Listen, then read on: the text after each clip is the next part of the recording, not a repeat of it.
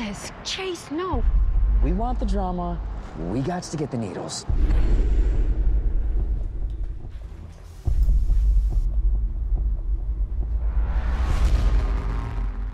Oh, Jesus Christ! Hey, I thought you injected him. I did.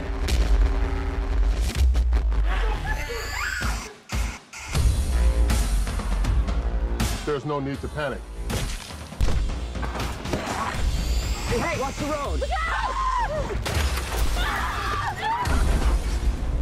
What advice do you have for those trapped in the quarantine zone? You're basically That's great. Les recuerdo que esta es una crítica casera, así que el que no le guste se puede ir a comer las mil mierdas. How bad will it get? I the only one who knows about zombies around here? ¿Qué tal? Bienvenidos a otra crítica de cine geek. Bueno, pues esta vez venimos con una película que se estrenó en Cracker.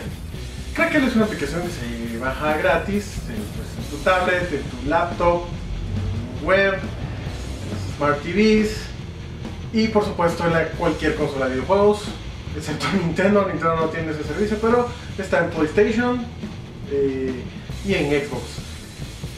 Se estrena el 27 de marzo, o depende de qué fecha estés viendo este video, se estrenó el 27 de marzo del 2015, gratis pues para todos los que tengan Crackle. Realmente pues, es un servicio gratis de Sony.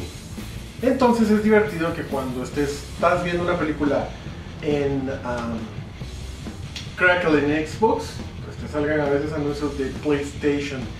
Es algo extraño, digamos. Y pues bueno, ok, entrando de lleno a la película Dead Rising Watchtower. Bueno, primero que nada, este fue un proyecto que estuvo rebotando de compañía en compañía. El proyecto lo tenía alguien, se lo daban a alguien más, que lo iba a producir eh, los mismos que hicieron la película Chun-Li, que apestó. Lo único bueno de esa película era el logo de Capcom al principio, que mejor la va a hacer el estudio digital de Xbox, ya no la hizo. Al final de cuentas salió como un Crackle, eh, pues, como una premiere de Crackle, como un Crackle Digital uh, Exclusive, y pues a cargo de Legendary Pictures, pero Legendary Digital. Realmente la película tiene eh, buenas actuaciones. Recordemos que es una película de zombies. Y como película de zombies, pues no se puede tomar tan en serio. Pero dentro del género de zombies, pues hay varias películas que sí se toman en serio, como la de Romero. O pues The Walking Dead puso muchos estándares en cuanto a gore en televisión. Que podemos ver gratis pues, en televisión.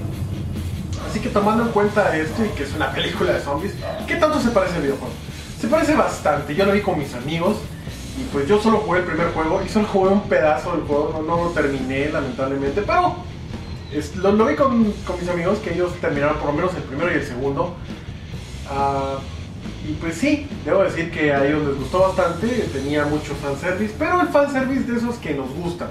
No es solo que lo meten porque sí, para complacer a los fans y que se hagan show. No, simplemente eh, era una película que sí prometía los personajes eran mm, eh, fieles, por supuesto. Así que, pues, eh, se estrenó una semana antes para Xbox, es decir, pues, para Xbox 360 o para Xbox eh, One. Lamentablemente, si vivís en Latinoamérica, no la puedes ver a menos que tengas el servicio de Xbox 360, porque, pues, ya está el crack el gringo, entonces todas las películas están en inglés. Esta película no tiene subtítulos en español, o menos no todavía. Pero la película está buena. La trama más o menos pues es una conspiración, eh, la enfermedad que veíamos en el 2, que hay zombies que se pueden curar y se tienen que estar inyectando eh, esta dosis cada cierto tiempo. En el juego eran 7 horas, aquí parece ser un poco más, me atrevería a decir un poco más de un día. Eh, el diseño de las armas está genial porque recordemos que el juego se trata pues, de diseñar armas extrañas y poderlas poner, eh, ponerlas en práctica y poder matar zombies de maneras peculiares, este instinto de sobre- sobrevivencia que existía.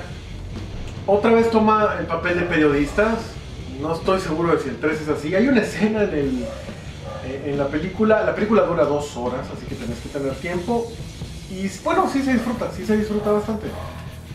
Hay una escena donde están jugando Xbox One y están jugando Dead Rising 3. Un poquito de fanservice, como les explico. Pero está buena, está buena la película, es una película bastante entretenida de zombies, le hace falta un poco más de gore y eso me lleva a la puntuación que yo le voy a dar personalmente. Le voy a dar un 7.7. ¿Por qué? Porque los tintes de comedia que tiene son realmente buenos. Ah, hay cierto punto donde ya ponen censura, pero creo que es una censura a propósito, porque lo que están viendo son como noticias en vivo, entonces ya saben qué parte censurar y qué no. Ah, los humanos que siempre son malvados, pues son malvados. Eh, la anarquía que ellos tienen está genial. Los zombies me gustaron cómo, cómo están hechos. Los zombies psicos están perfectos. Hay un payaso ahí que si odias a los payasos y les tenés miedo, lo detestas porque es un payaso zombie maldito. Ah, los pequeños detalles también que habían en la película, refiriéndose a los videojuegos, al 1 y al 2, por supuesto, geniales, totalmente geniales. Así que 7.7 significa que es una película que está muy buena y vale la pena verla. Te hace entretener bastante. No es como las películas de Resident Evil que al final de cuentas no tienen mucho que ver con el juego. Este sí representa de una manera fiel pues, lo que pasa en el juego. Y pues eh, lo único es que a mí me hizo falta más gore. Y a mis amigos también nos hicieron falta más gore. Porque sentimos que Walking Dead pues, ya trajo un estándar nuevo en zombies, en tripas y en drama. Entonces, por ese aspecto sí está un poco aguada y por eso es que no tiene más punteo. Pero 7.7 está bien, decente y que pues vale la pena verla y tal vez verla una segunda vez. Tal vez con eso te dan ganas de revisitar los videojuegos. Y pues con este escándalo que hay en la calle, yo me despido de ustedes deseándoles larga vida, prosperidad, que la fuerza los acompañe. Oh, sí. ¿Qué será eso? Tal vez hay zombies atacando.